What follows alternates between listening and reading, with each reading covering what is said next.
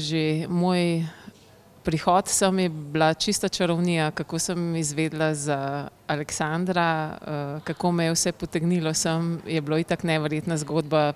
Med korono, ke sem mogla končno majčkeno počivati, sem videla njegovo reklamo na telefonu in že takrat pobrskala po vseh njegovih videih in pregledala in tako naprej, ampak sem potem, ko sem bila malo boljše in se spet zatopila v delo, takoj pozabila. In kako me je to spomnilo, še enkrat in še enkrat, še od mojega prijatelja, ke je rekel, da je točno to za mene. In spoznanje, da je precej drago za mene in sem v ta pravem trenutku dobila ves potreben denar, ga zadnji dan nakazala in evo, uživala v vseh modulih in znanju in energiji, ki jo je podal nam.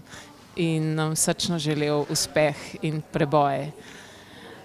Tukaj sem doživela neverjetne, trenutke mnogih ljudi, tako da vsem priporočam, pridite k njemu in se naučite živeti.